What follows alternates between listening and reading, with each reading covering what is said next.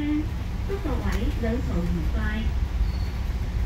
Dear passengers, on behalf of Kowloon Motorbus Company, I would like to welcome you on board our route number 248M to Tsing Yi Railway Station.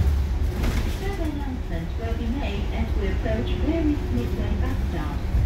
It is our pleasure to have you on board and we wish you a pleasant journey. 坐九龙巴士公司二四八 A 线。本班车将由长虹开往青衣铁路站，中途将有广播提示各位乘客，